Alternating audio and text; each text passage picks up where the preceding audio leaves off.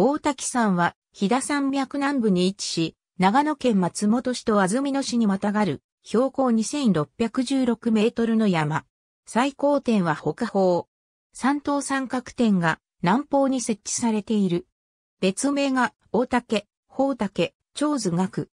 古くは修験道の対象の山であり、東山六の安曇野から見た山陽が、お椀を伏せたように金星が取れた広い山頂部を持つことから、大竹と呼ばれていた。あずさ川の支流島島谷川の上流部の大滝沢の源頭部の山であることが山名の由来であると見られている。常年山脈の稜線を南下すると、常年岳、長が竹の南にある。山体すべてが長野県に属する。山体は秩父湖清層の黒色年番岩が主体で、黄砂岩とチャートを含み、山頂部から北にかけては黄砂岩が多い。山域の西側は中部山岳国立公園の特別保護地区、上部の山域は、その特別地域の指定を受けている。山頂部は、森林限界をわずかに超え、灰末に覆われていて二重稜線の地形が見られ、大滝山荘付近では、大白びそ、小蜜が、頭皮などが分布し、その臨床にはカニコウモリ、岩鏡、姫竹島蘭などが分布する。山頂近くの稜線上の登山道付近には、小さな地頭と高山植物などの群落があり、聖火には宮山門地町、紅日陰、恋おどしなどの鉱山町が見られる。2015年には常年岳山脈のつば九郎岳から大滝山にかけての山域で絶滅が危惧されている。大腸生息実態緊急調査が実施された。長野県松本市の大滝山の一帯は日本郵便により交通困難地に指定されているため、違いから当地へ郵便物を送付することはできない。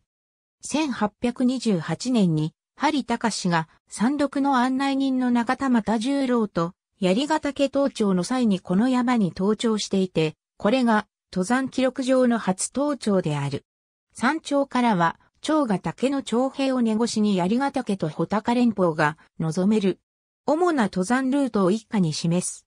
最も古いルートはかつて、飛騨振動として利用されていた鍋冠山からのルート。常年山脈狩猟線上の大滝山から徳郷峠へ至るルートは、大滝山荘を経営していた中村清三郎が1942年頃から数年かけて切り開かれたルートで中村振動と呼ばれている。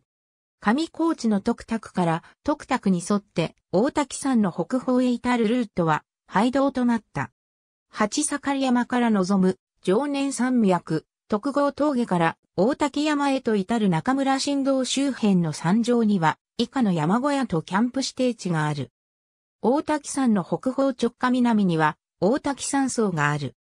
1925年に地元の三里村の有志らにより建設とされ運営が行われた。その後1931年に中村清三郎が山小屋を買い取り、経営を行うようになった。1936年に従来の小屋の隣に新しい本館が建てられた。収容人数は30人の小規模な山小屋で、営業期間は夏季の約1ヶ月のみ。熊出没情報などが小屋の戸に貼られることも多い。木曽駒ヶ岳の爆走岳から望む八盛山と大滝山周辺の常年山脈、手前に味噌川ダム飛騨山脈南東部の常年山脈の狩猟線上にあり、北方付近でその枝尾根が東の鍋冠山へと伸びる。北方と鍋冠山との中間点付近のなだらかな稜線部は八丁、だるみと呼ばれている。